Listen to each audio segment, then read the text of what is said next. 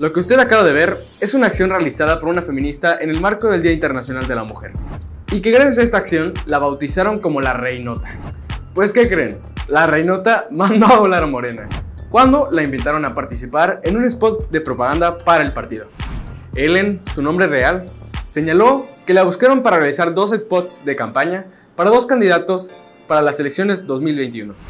Y los que lo hicieron dijeron que no eran directamente de Morena, que supuestamente eran una empresa aparte que solamente apoyaba al partido. La respuesta de la reinota fue contundente. Y aquí les dejamos una muestra. Obviamente no acepté. Al final fueron súper prepotentes y yo así, jaja, pero nunca iba a pasar.